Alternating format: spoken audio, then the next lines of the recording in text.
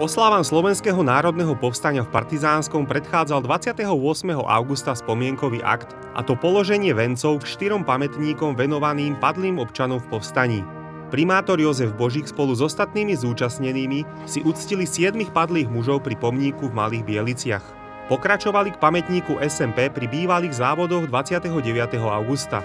Tu vzdali poctu 78 padlým zamestnancom.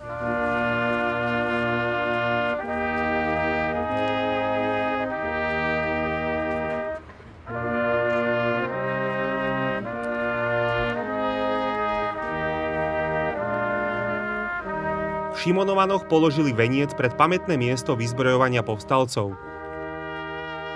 Na záver sa zhromaždili pred pomníkom popravy 35 partizánov za riekou Nitrov, známym ako Dolný pomník.